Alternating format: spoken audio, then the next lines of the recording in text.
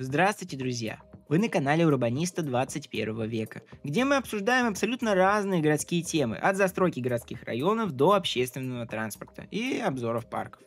Сегодня же мы рассмотрим станцию московского метрополитена, расположенную на юге Люблинско-Дмитровской линии метро, а именно Братиславскую. Проектное название станции было Краснодарская, по одноименной улице, расположенной в непосредственной близости. По факту же станция была открыта 25 декабря 1996 года и названа уже по другой близлежащей улице, в честь города Братислава, а также дружбы и сотрудничества славянских народов. Братиславская была открыта в составе сдачи четырех станций, от Волжской до Марьина. Глубина составляет всего 8 метров. С тех дней по сегодня какого-либо существенного ремонта на станции не проводилось. Входы с улицы, ведущие на платформу, никак не изменились с момента их постройки.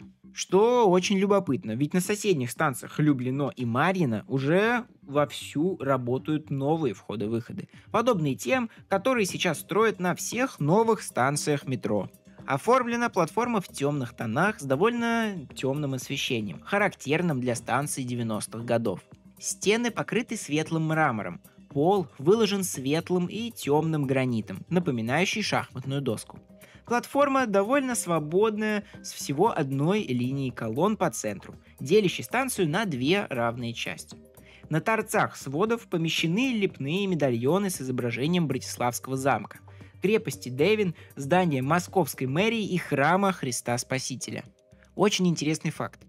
Изначально проектировщики оставили место без колонн в середине станции для пересадки на второе кольцо метрополитена, о котором в 90-х никто еще даже не заикался из обычных людей, но его уже запланировали. Однако, к сожалению, многих жителей, которые на самом деле про это даже не знают, строительство второго кольца уже почти закончено на станции метро Печатники. Братиславская успела засветиться в фильме «Старые клячи», где прямо по рельсам ехал автомобиль. Станция имеет два вестибюля. В одном два выхода, в другом три. Также у южных выходов имеется и четвертый, который из-за ненадобности почти сразу же стал техническим и не функционирует для пропуска пассажиров. Во время постройки станции сам район еще не был полностью застроен. Людей, пользовавшихся метро, было ну вообще мало.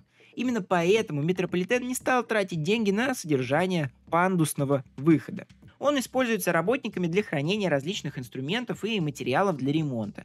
За закрытой дверью располагается тепловая камера. Вот, пожалуйста, вы можете видеть его на фото. На данный момент Братиславской пользуются жители района Марьино, в котором станция, собственно, и располагается, а также часть людей из соседнего района Люблино. Помимо этого, сюда ездят автобусы 112 и 112 Экспресс с жителями района Капотни, у которых нет своего метро. И каждый день они добираются до ближайшей Братиславской. В целом, станция ничем особенным не отличается. Она довольно мрачная, что, повторяюсь, характерно для строительства станций 90-х и нулевых.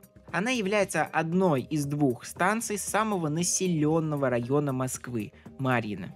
А если вы знаете что-либо про Братиславскую, обязательно напишите это в комментариях. Мне будет очень интересно почитать. А самую полезную и актуальную информацию я закреплю в комментариях.